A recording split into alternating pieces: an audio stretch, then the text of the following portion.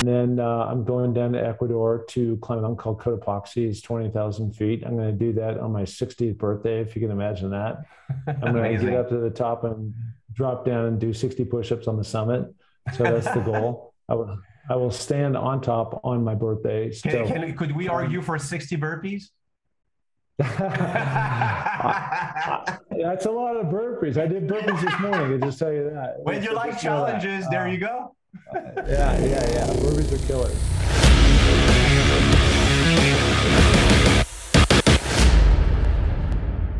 Hey, how are you doing, Saito? Welcome back to the Sensei Says podcast. I am Sensei Pascal, as always, inside my podcast dojo in Saint Julie, Quebec. Canada. Thank you for choosing the SSP today, either on YouTube or the audio platform you're currently listening on. As a quick reminder, the Sensei Says podcast mission goes as follows. We uh, discuss weekly with successful personalities and dig out some actionable advice, which hopefully will help you and me improve our lives. And I'm really excited about this week's episode, our first follow up interview actually with Mark Pattison. Mark was a guest on episode number three. Uh, during which we discuss his engagement in the Seven Summit Challenge.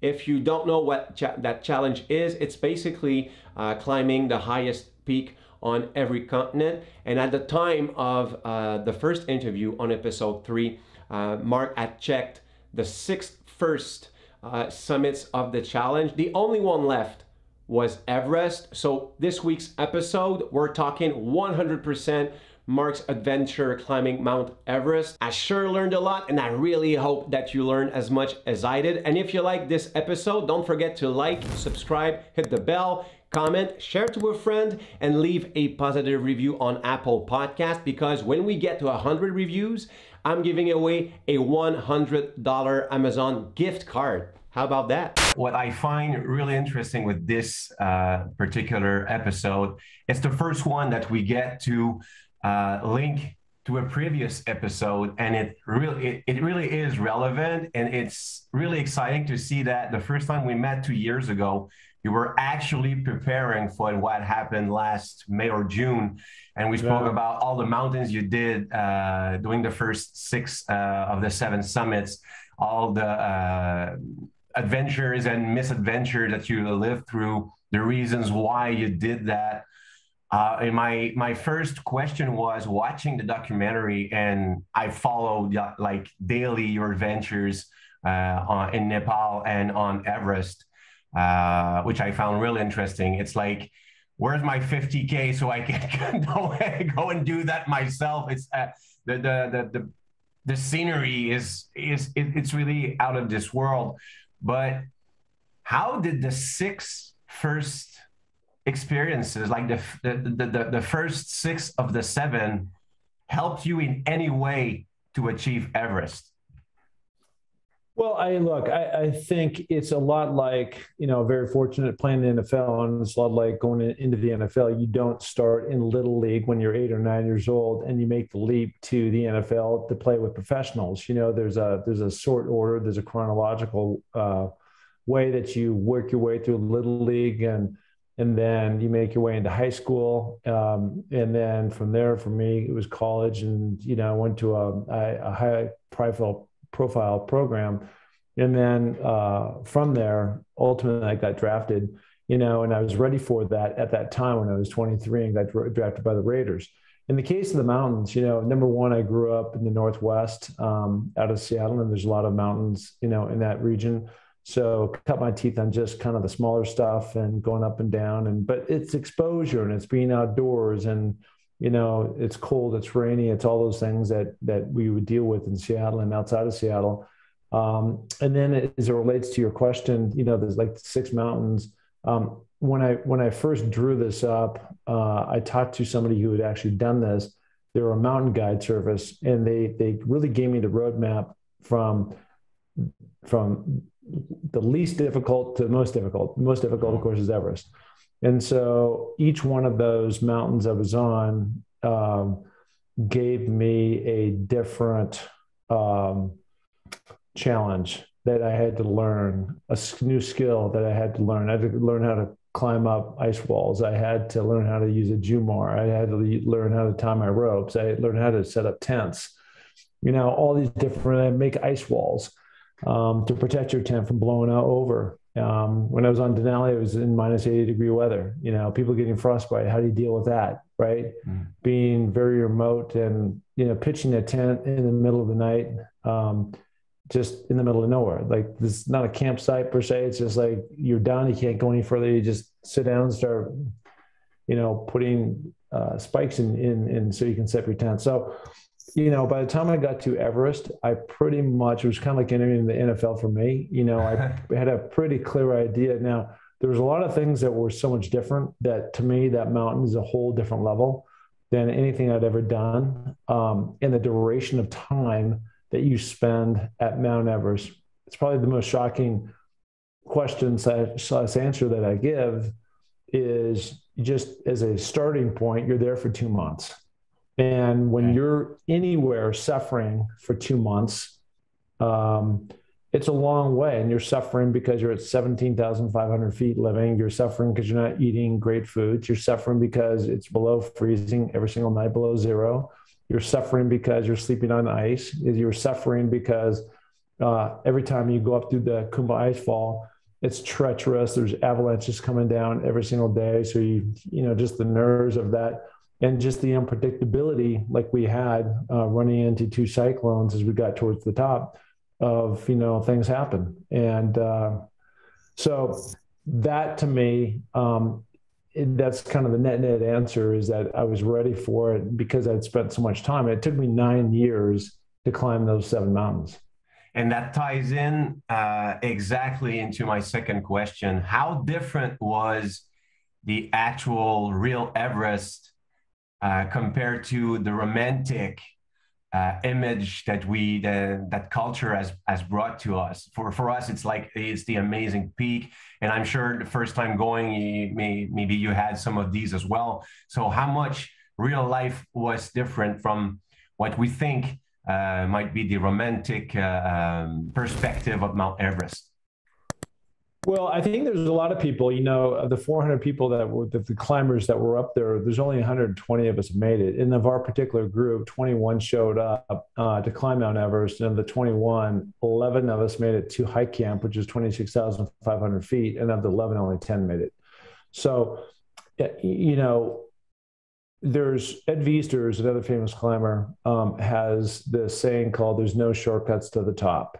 And at the end of the day like anything that i've ever done that that you know playing in the nfl and being a part of sports illustrated and starting venture back companies and all these things that i've been very fortunate to do like there's nobody in the room that's working harder than me right? I mean i can literally say that. Now i'm not saying somebody else isn't working out as hard as me but there's nobody working harder at a certain goal once i get my my eyes locked in on something. And so there's a direct correlation to the people in the room that work the hardest and prepare the most usually have the best results. Doesn't always turn out that way, but you put yourself in a position um, that that good things are are going to happen. And so, um, you know, Everest is a beautiful mountain, and you really st- started to see the difference of people fading. I mean, there was a week, you know, again, we started 21. There was a couple weeks there where, like, every day we're flying somebody off the mountain. They were sick, their lungs blew up with fluid. You just don't know what's going to happen at that high altitude. And then there was a couple others that um, there's this new thing called Express Everest, which basically means um, the outfitter will send you a tent and you climb in your tent every night. And so it acts like you're sleeping at 22,000 feet or something and the three people and what that allows you to do is show up a month later. So rather than be there for two months and suffer you're only there like the last you know 20 or 30 days. And we had three guys do that. All three of them went home. None of them made it. One of the the key points that i got from the documentary uh, which is now available on on youtube the link is on my twitter at sensei says pod. Uh, amazing documentary by the way. Uh, i wish i wish it were longer I feel like we we could have gone like way deeper in the subject and uh, um, just get some more views and impressions of your adventure. But the 28 minutes is really worth the watch. Um, and I, I, comparing your past as a as an athlete, uh, NFL player, and then the thing changes on the mountain where you go from my objective is to climb two summits, be the first one at that age to do that, and you know these bucket list I've got to hit. Like it, it's performance related and not I got to save my life related. And then it changes during your ascension of Everest. So my question was in terms of being stimulated, being um, motivated to to um, to complete a certain objective, is an existential motivation stronger than a, than a sport performance related uh, motivation? I don't know if that, that makes any sense, but the source of the motivation to me sounds much stronger if your life depends on it than if it's just, and not to uh, diminish the, the sports related objective, but just related to, to a sport, to winning a championship. Yeah, I mean they're similar and they're completely different, right? And and making a my finally cracking through the roster and playing at my college, we went to two Rose Bowls, two Aloha Bowls, and Orange Bowl. We were always rated in the top 20. You know, we're number one probably half the time I was at the University of Washington. Um, and and climbing Mount Everest, it's similar in that there's a goal. You want to get out there, you want to catch balls, you want to be a starter, you want to do all that kind of stuff. When it hit me on Mount Everest, like I was super strong most of the time, most of those two months that I was up there and, you know, again, things happen. We thought we were going to go for the summit on the 20th, and we end up in a cyclone. And so I end up basically not eating for three days. I was surviving on these little hard candies. And so now on the morning of uh, the 23rd, um, we, we leave at, this is of May of 2021 here, and we, leave the camp um, at 2, uh, 12.30 at night. And um, you know, they forgot to wake our tent up. That's a whole nother story. And so we had 20 minutes to like get it going, chop, chop, get out, let's go, let's go, let's go. So we had nothing, no time to eat. And when you come out of that camp, you're going straight up. I mean, there was no like, you go up a little bit and it plateaus, you go up. It's a, it was straight up. And I, from, from, from that moment, in addition to, I got snowblind, my left eye, you know, so I couldn't see. Um, these are just all things that are hitting me left and right. You know, you're on this wicked 45, 50 mile per hour, you know, uh, storm with this sleet, you know, piercing my eye. That hurt. I couldn't see where I was supposed to be uh, clipping into the ropes. That was a distraction. And so, you know, the motivation was always there, just like it was like under all circumstances, I'm going to, you know, I'm going to get to the top. I'm going to play in the NFL. I'm going to start. I'm going to catch these footballs. But where it changed is by the time I got to the top, now I'm nine hours into it. I'm not doing a football game that lasts three hours in my position as a receiver. You know, you're kind of starting and stopping. Um, I'm nine hours just get to the top. And now I'm in the very top and where a lot of people I know have a lot of elation, like, oh my God, this is the greatest. You throw your hands up and like I was at my end right there. And I was just like, now I got to figure out a way to get back down. And I was out there 18 hours, right?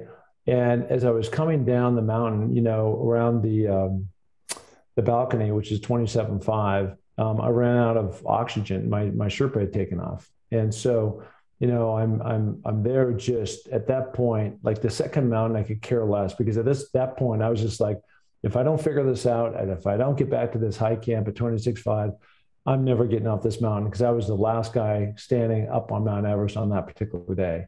And so, um, you know, you don't have that. People don't die in football. They don't, you know, there may be disappointment because you didn't win the game or you didn't catch the pass or you didn't get in and you're not starting. You wish you were, but you're not going to die.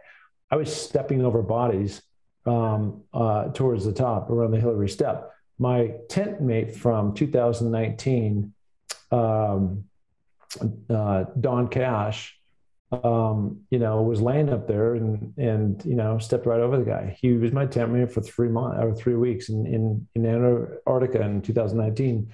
He later died four months later uh, on Mount Everest, and it was tragic. But it was just like I don't want to become a statistic, and there's not that many times in your life when you're saying, like, if you walk out, we we hang up in the podcast, and you go do whatever you're going to go work out or go to the store or whatever you're going to do. There's nothing probably in your this, your day today where you're saying to yourself, "Today is not the day that I die." yeah. And I was like, like you know, so you're you're coming up with all these reasons why not to die. And as you saw from the film that the NFL did, searching for the summit, you know, I had to really tap into my daughters, um, my one daughter, Amelia in particular, and just like I, I can't let her down. I got to keep going for her. I got to tap into all my friends, and these are just the things that were coming out. And like the the, the last thing I even cared about was I was going to go back down and then go back up Lhotse as I was trying to become the first NFL player to do those. And I was just like, I don't even care like I just I, at this point I just got to figure out how I got this mountain. And all things considered, uh, two-parter here. First, was it worth it? And two, uh, what do you take away from uh, the Mount Everest adventure as a human being, uh-huh. as an individual?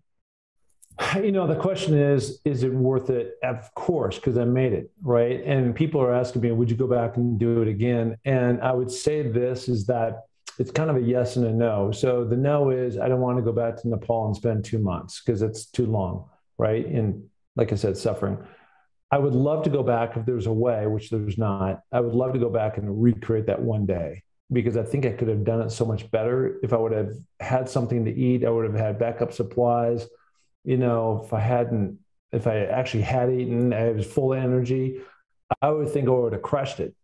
But I'll never know that, right? So if I could go back and create just that one day, I would, I would for for sure do that. And then, you know, there's there's, I don't look at just Mount Everest. I look at kind of the whole package of the nine years. And if I go back to kind of like round zero, you know, the reason why I even got into it, I wasn't walking down the street one day. and said, "Hey, life's going great, and like, let's do the seven summits." I mean, I got into it because I was going through a rough patch in my life, and I just got finally to a point where I got to figure this out, and I need to pull a big ass goal to figure out a way to pull myself out of it and give me some renewed energy about attacking something. And so, as I look back on it, you know, I guess the one big thing for me was this whole notion of number one, stepping into the fear. And that's why I think so many people they have a hard time getting off the couch or should I do this or should I do that? And da, da, da, da. and at the end of the day, they spend so much time in quicksand, not moving because they haven't stepped into something, especially something that you've never done. I'd climb, it was more like weekend hikes in the woods. It wasn't like serious climbing up ice walls and you know, like on Mount Everest, I fell into a crevasse and you know, all those different things. You know, it's it's a whole different level. Um, that was number one. Number two is, you know, once you step into the fear and you have that big goal out there, is you got to go at it um, with daily discipline. And this is another area too that I've just seen so many people that they have a big goal or it's a New Year's resolution and lose weight or I'm going to go do a, a Spartan race or something, and they get into it and trying to keep up that that consistency. I can tell you this with certainty that I put on over 150,000 vertical feet of climbing last winter. Okay. That's a lot of times going up and going down and going up during the winter in snow in awful conditions. 150,000 vertical feet. And I did that because of I stepped into the fear originally, but then I had the daily discipline. Every single day I said, I have to go up that mountain. I have to go up the mountain because I don't know when or how, but I'm going to need to tap into this. Little did I know that'd be snowblind. I'd run into a cyclone. I hadn't eaten in three days. Couldn't find my rope. My Sherpa took off on me. You know, I'm the top of the world by myself. And and so all those chits that I put in the bank, I all had to take a withdrawal from all those things that I'd, I'd put there. And then the last part of the things, going back to your original question, you know, what'd you learn? Was as I look back on these nine years, nine, ten years, is just like it's one thing to say you're going to have daily discipline. It's one thing to say you're going to step into the fear. But the third thing and the most important thing is you have to commit all in. And just like like when I was totally 100% committed to to doing all these things every single day, to put the chips in the bank, so that at the end of the day, when in every fabric of my soul, I wanted to quit, man. I want to just lay down and either fall asleep or just turn around and go back because that was the easy choice. But I was so committed to what, like, come hell or high water, I'm going to get to the top of this thing. I'm not going to be the one guy that that doesn't. I was so committed that, and throughout the entire process of not just a month or two months or three months, but the entire nine year journey, that you know I got set back on COVID. I was supposed to go in 2020, and then the whole world shut down. So I had to reset my goals again, right? And like a lot of people think about if you're going to the Olympics and the Olympics canceled, which it did, and you got to go through all that training again. Like, how do you like set your mind like that? You set your mind ultimately by committing to a process. And that's those are the three main takeaways I got from that from the whole yeah, uh, there's so much in this that uh, I've got to dissect, and uh, we uh, we discussed all the reasoning and your personal motivation and your personal situation when you decided to uh, uh, engage in the seven uh, seven summit challenge in episode number three of the podcast. So I highly recommend that anyone watching or listening go in our archives to listen to episode number three, uh, which was uh, recorded on during Spartan World Championship weekend in Lake Tahoe. Mm. But so much to discuss here and so little time. Um, uh-huh. At the end of everything, you've survived Everest you've put in the decade of dedication preparation solely based on a desire to take you out of a very dire personal situation and to exemplify what a professional athlete could vie for in terms of a future. So now it's done. So simple question did it work? It 100% worked. You know i, I you know, the first thing that the mountains gave me, there, there's so many like sub benefits to all this because uh, the mountains gave me complete clarity. You know, it helped the healing, number one. Then it gave me clarity, number two. Then I was able to uh, um, turn around and just get centered. And, you know, I was able to move on. Um, in my life, I was going through a divorce with my wife. And so you know, things slowly kind of got put back together. I'm with a wonderful girl now. Um, I moved my whole life to Sun Valley, Idaho. So I'm in the mountains, kind of like Tahoe, where you and I originally met. Um, and and uh, probably the biggest thing is I, I was able to like get real real clarity on the most important things in life. And my daughter was epilepsy, Amelia. You saw that in the movie and you know from for me to be able to like what can i do to help her? And i started a campaign called amelia's everest and we've raised probably i don't know $60000 towards that. And it helps people like her you know get better. And you know the fact is that she hasn't had a seizure in about eight months for the first time since she's 22 now actually 23 since she was eight years old. And i think a lot of that is because of what i was able to do to to ultimately give her empowerment because the, this campaign kind of made her the star. And uh, it's, you know, Tim McGraw has got this great song called Humble and Kind. And it says something like um, at the end, it says, when you get to where you're going, make sure you turn around and help the next person in line. Always remain humble and kind.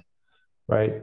And I think that's what, to me, that life is all about, in which I've discovered. It took me a hell of a long time to get here, but you know, life isn't over till it's over. And I think I, I've still got a long way to go.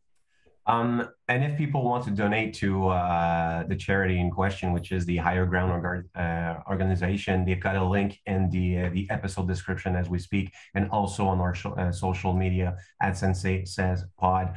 Um, lastly, the part that I really liked about the the uh, documentary, aside from everything, because I really thoroughly enjoyed it, was seeing you train like hmm. specifically for a mountain i've seen exercises and i've been coaching for about a decade now that i haven't seen i hadn't seen before like you, you seem to train with bands uh, in terms of uh, stimulating stabilization and answering randomly uh, to the environment but uh, were, were, there like fake axes that you trained with? Were, were those like you you had small handles and I could see I could see like punch the ground and do some kind of a push up or something like that. Uh, uh-huh. those like um, fake handles for uh, for like to stimulate the uh, simulate a, an, an axe that you're actually going to use on the mountain?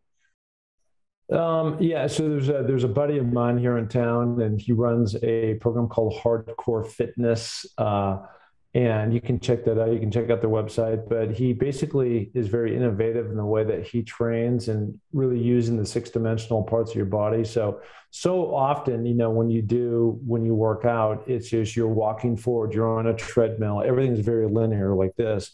And with him, it's, it's jumping up, it's jumping down, it's going left, it's going right. Um, and and so as I think he also discovered within the the the, the the the rubber bands. That's a loose word of saying it. He actually invented this. He's got trademarks on all the stuff that we were doing.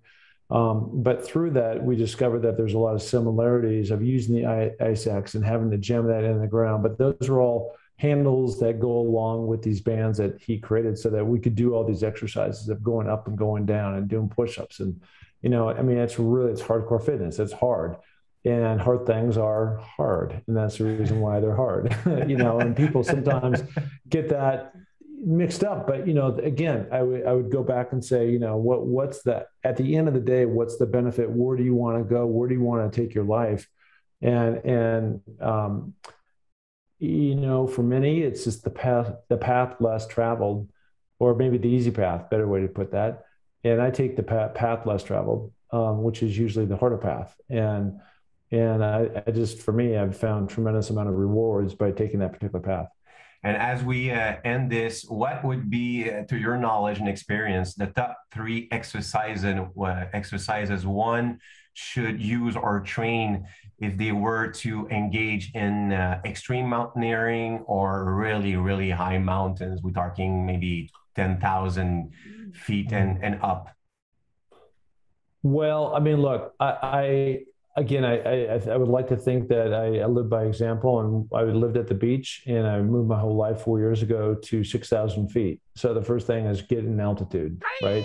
Get there's no altitude. there's no replacement to that.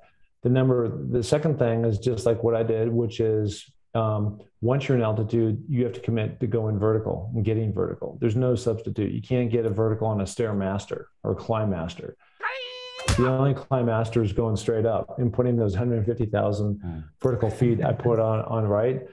And then the, the third thing that I, I do every morning um, is I work out twice a day still. Um, and I, and the first thing I do when I wake up, I put my feet on the floor, FOF, and I go down. I have a home gym and I do CrossFit. I CrossFit for exactly one hour. And then in the afternoon, I'm up on the mountain. Happens every day. And so those are the things that have really allowed me to um, achieve. And I have my set, site set, and I'll be in Ecuador in December um, to climb another mountain down there, a big mountain. And I would just continue to goal set to keep me motivated and then actually apply the daily discipline thing of working out twice twice a day. So maybe uh, quick words about the documentary uh, "Searching for a Summit" that the NFL put out uh, and people that uh, that uh, people can find it right away on YouTube. It's absolutely free and it's uh, amazingly interesting to watch. So maybe a quick words on the uh, documentary.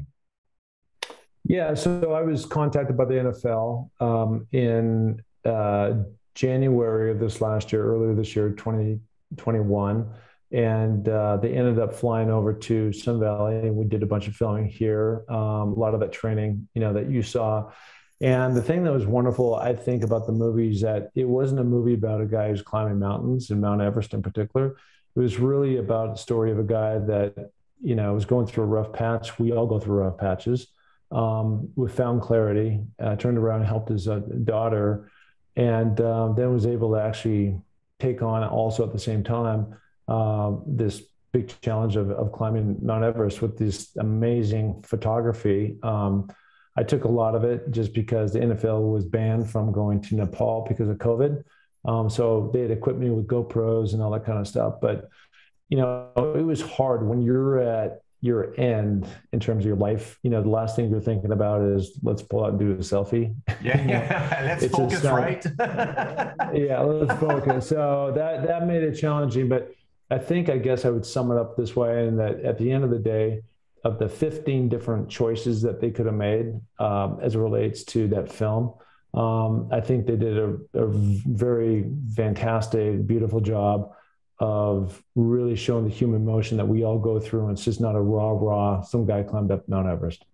And last question what's next?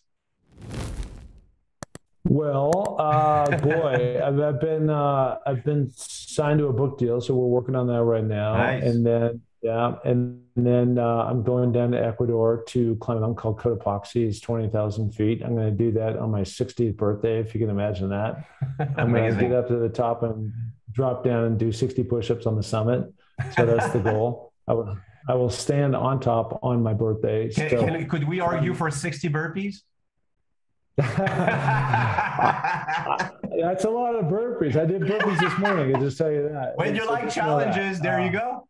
yeah, yeah, yeah. Burpees are killers. Uh, it makes it a little tougher with crampons on, you know, going up and down. but anyways, I will uh, so do that, and then I'm working on a uh, a big project here in Sun Valley uh, next June called the Seven Summit Summit, and it's essentially bringing a bunch of rock star speakers to be to talk about inspirational things that you know that others have done, and then also have a bunch of physical challenges of running up the mountain. Um, so we can challenge them. So it's an aspirational, inspirational weekend that you're going to walk away from. So think of Spartan Nation, um, but with a inspirational component where we can bring people together and big name people that that many have know. Um, they have insane accomplishments will be up there to speak that are friends of mine. So um, that's what we're working on. Cool. The documentary again is called Searching for the Summit, available on YouTube right away. If you look on our Twitter at Spot, you've got the direct link on there. Also, uh, broadcast uh, on the NFL Network. Mark, again, thank you for your time and uh, congratulations, and thank you for all of the inspiration you've given us through this uh, endeavor.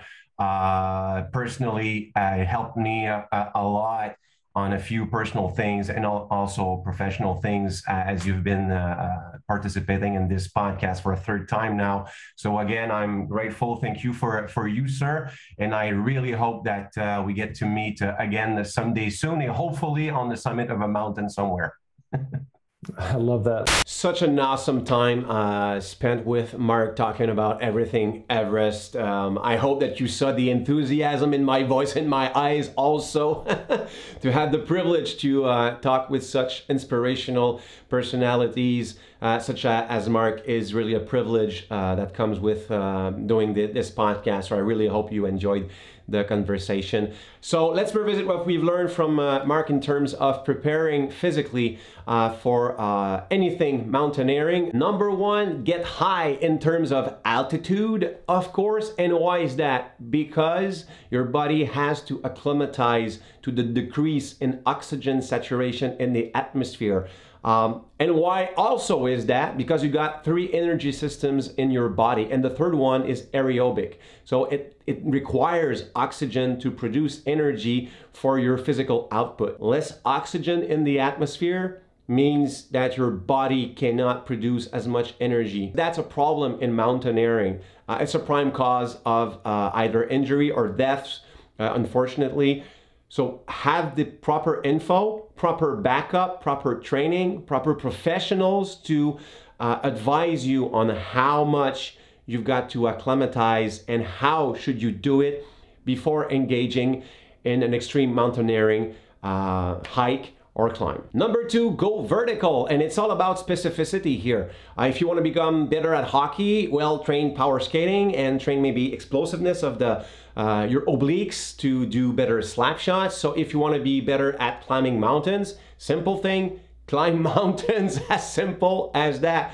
You've got to build the endurance of your posterior chain, your glutes, uh, your legs uh, in a general uh, sense, but also build the experience being aware of your environment, uh, analyzing the trail, your safety, uh, maybe spot the weather changes, which are uh, a prime factor of failure or success in mountaineering. Start with uh, lower altitudes, lower elevation, and build towards something higher. And through that process, you're also going to learn how to uh, uh, nourish yourself during your expedition, the right gear to, to buy and to practice with. So, all the process of going vertical will uh, for sure increase your chances at being successful at that huge mountain you want to uh, accomplish on your bucket list. Number three, cross training, because you've got to have a strong base on which to uh, build your uh, sport specific skills. So, your cardiovascular uh, explosiveness, endurance, your mobility, which is really important in uh, mountaineering, your stability. So, you want to train your ankles to react like light and quick to stabilize yourself. And cross training, functional training, is really a good vector of physical development for mountaineering. How about you, Saito? Are you a mountaineer, a mountain lover? If you got training tips, you want to share with uh, the community, please leave it in the comments or leave it on my social media at Sensei Says Pod or my personal Twitter at Sensei Pascal. Do you have a friend who's a mountaineer, a mountain lover? Cool just share this episode to him or her. It's absolutely free, of course. And by the same token, leave a positive review on Apple Podcast. Please, if you think we've deserved it. When we get to 100 reviews, I am giving away a $100 Amazon gift card Good luck to you. You want to receive the episodes fast and first, sign up to the free newsletter. You've liked this episode and you've shared it. Next thing, subscribe to the channel, hit the like button, hit the bell. On that note, Saitos, I'm gonna see you next week as always. Thank you for watching and listening this week. Us, you are dismissed. Because like I mean, some people think you're crazy going hiking. They're like, okay, what are you gonna do? Well, we're gonna walk for four hours, get up somewhere, have a snack and a picture, and come back. I went to Iraq. Everyone I told, them, they're like, "Oh, Iraq must be super dangerous." No, it was actually really chill and uh, loved it. In reality, things are a little bit more nuanced, so I think it's good to go and see for yourself.